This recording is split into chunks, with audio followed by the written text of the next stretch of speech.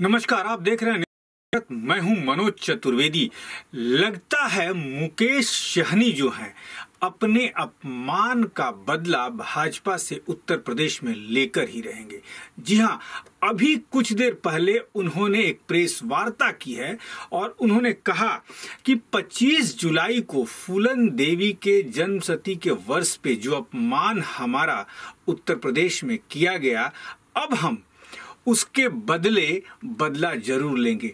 उन्होंने अपने कार्यकर्ताओं से लेकर उत्तर प्रदेश के अपने जो नेता हैं उनकी पार्टी के, उनको कहा कि अब पचास हज़ार जो हैं, फूलन देवी की प्रतिमा जो है उत्तर प्रदेश के घर घर में पहुंचाई जाएगी और हमने इतनी सीटों पे 403 सीटों पे निर्णय लिया था लड़ने का, लेकिन एक सौ पैंसठ पर हमारी दावेदारी जो है अब बहुत ज़्यादा मज़बूत होगी। सुनवाते हैं आपको मुकेश सहनी का वो प्रेस कॉन्फ्रेंस।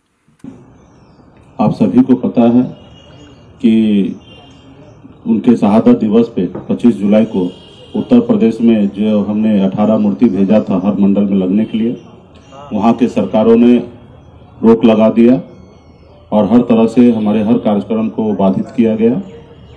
उसके बावजूद भी हम लोगों ने निराश नहीं हुआ और हम लोग उत्तर प्रदेश में मजबूती से वीरांगना फूलन देवी जी का उसी रोज मन में हमने इच्छा व्यक्त किया कि हर घर घर तक वीरांगना फूलन देवी को पहुंचाना है। तो हमने अभी निर्णय लिया, पार्टी के सभी पदाधिकारी ने निर्णय लिया है कि पचास हज़ार मूर्ति, पचास हज़ार प्रतिमा उत्तर प्रदेश में हर घर तक निषाद परिवार के बीच में वहाँ पे हम लोग पहुंचाएँगे ताकि लोग अपने दिल में, अपने घर में उनको माने। और मुझे लगता है कि सरकार हो या कोई भी, किसी को घर में रोक नहीं रोक पाएँगे। और दस लाख कैलेंडर और पाँच लाख लॉकेट ये हम उत्तर प्रदेश में हर घर घर तक निषाद को वहाँ पे भेजेंगे। इसके लिए वीआईपी पार्टी के वेबसाइट पे जाके ऑनलाइन अप्लीकेशन भी कर सकते हैं वहाँ पे। जाके निशुल्क वहाँ से वो अपना सारा डिटेल जानकारी देंगे और उनको हिंदुस्तान के कोई भी कोना में जहाँ पे भी रहेंगे, उनको फ्री में उनको कुरियर से उनके घर तक हम लोग भेजने का काम करेंगे। और साथ ही उत्तर प्रदेश में विशेष तौर पे हम खास करके ऐसे तो 403 सीट पे हम तैयारी कर रहे हैं। पूरे उत्तर प्रदेश में पार्टी लॉन्च हुआ है पूरे उत्तर प्रदेश में हम आने वाले 2022 में चुनाव लड़ेंगे।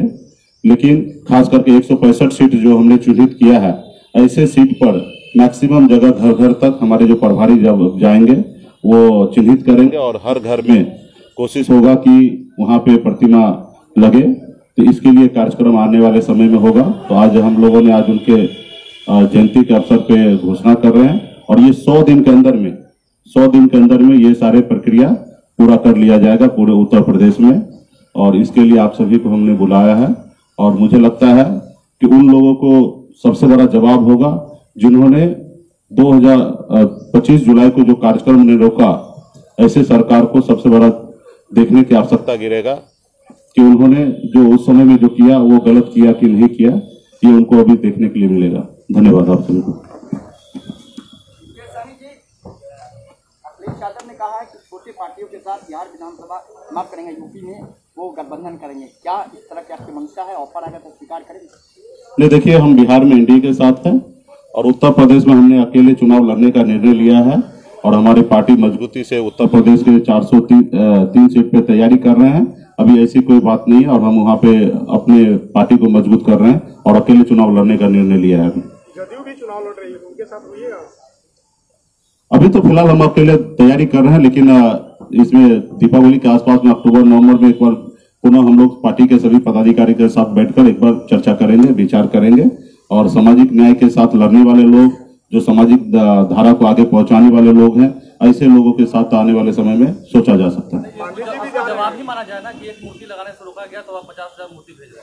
निश्चित तौर पे ये सोचने वाला यही सोचेंगे भी और सच ये भी है कि जिस तरीके से सरकार ने जो निर्णय लिया था, वो कहीं से सही नहीं था। एक पूर्व सांसद, दो दो बार सांसद रही और उनको, उन्होंने संघर्ष करके वहाँ तक पहुँचा, चंबल से लेकर विधान, लोकसभा तक पहुँचा और वो माननीय सांसद बने दो दो बार और उसके बावजूद भी ऐसे प्रतिमा नहीं लगने देना और जाति विशेष के दबाव पे जाकर। तो ये मुझे लगता है कि सरकार का अच्छा पहल नहीं था उस समय में। इसलिए हम लोगों ने फूलन देवी को हमेशा मानते हैं मैं हम हमेशा कहते हैं कि हमारे विचारों में हमारे संघर्षों में फूलन देवी अभी भी ज़िंदा है और उनको लेके हम लोग चलेंगे क्योंकि उनका हमेशा विचार था कि समाज को एकजुट करें समाज को आगे पहुँचाए और वही काम हम लोग भी कर रहे हैं। पर आप पर हम एक सौ पैंसठ सीट को चिन्हित किए हैं एक सौ पैंसठ सीट पर हम लोग लड़ेंगे और बाकी सीट पे हम सामाजिक न्याय के साथ जो लोग लड़ेंगे उनको हम लोग मदद करेंगे। मंत्री जी आप क्या बोलना चाहते हैं कि बिहार की बीजेपी समाजवादी नहीं है? अगर ज़रूरत पड़ेगा तो उत्तर प्रदेश में आप समाजवादी पार्टी के साथ जाएँगे। नहीं हमारे सामान्य विचार धारा के साथ जो लोग चलेंगे वहाँ पे तो हमारा एक लड़ाई है ना कि निषाद समाज को आरक्षण दिलाना। ये लड़ाई हम लोग बिहार से 2014 से ही चालू किया और, और हमें पूरा ताकत लगा के दिल्ली तक पहुँचना है। और इसके लिए हम लोग पार्टी पूरे भारत में विस्तार कर रहे हैं।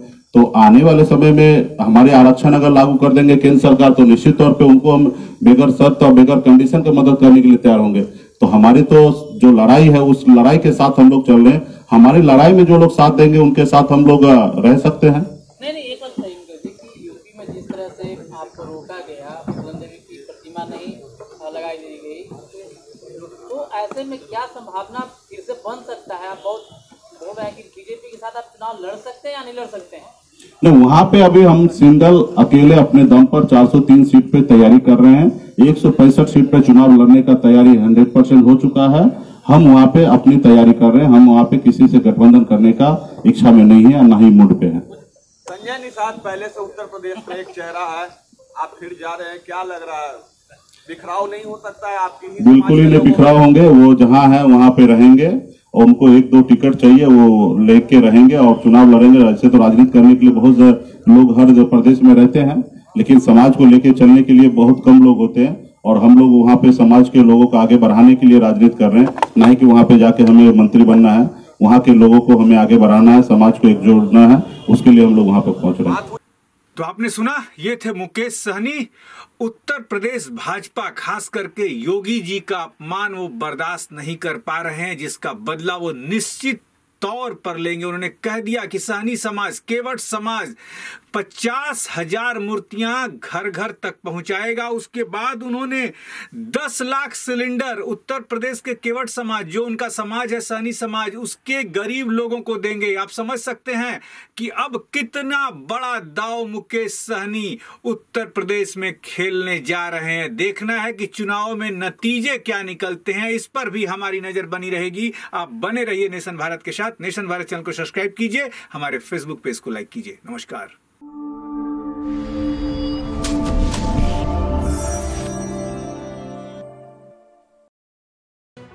लेटेस्ट खबरों से जुड़े रहने के लिए हमारे चैनल नेशन भारत को सब्सक्राइब करें और बेल आइकन को दबाएँ ताकि कोई खबर छूट न पाए।